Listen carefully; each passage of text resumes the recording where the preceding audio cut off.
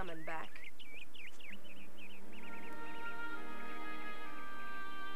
Becky.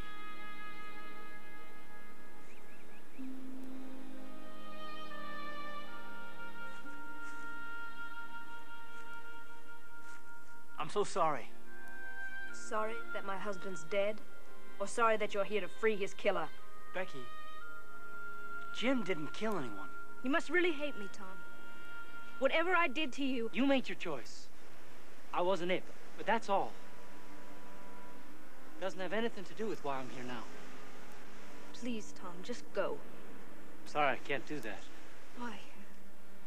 Why do you have to do this? For Jim. Folks, gotta see the man beyond the color of his skin. And don't you want me to find the man who did kill your husband? I want you to leave. Becky, I've got to see her father. No! Becky, just tell him I'm here. If he doesn't want to see me, he can say so himself.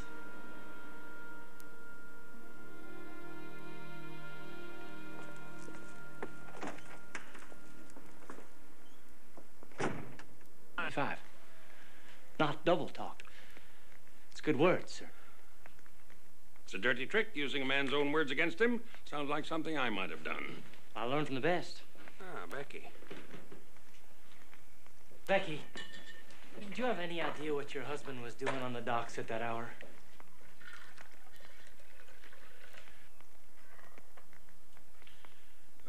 Nobody knows. Lyle was very busy with his work. He, uh, he'd been a bit preoccupied. Well, if it isn't Huckleberry Becky? Finn. Sir, they brought Jim into town. He's at the jailhouse. Oh, we, we better go. Well, go ahead. By all means. Huck has almost as much to gain from this as you do. It's a big case. Big headlines.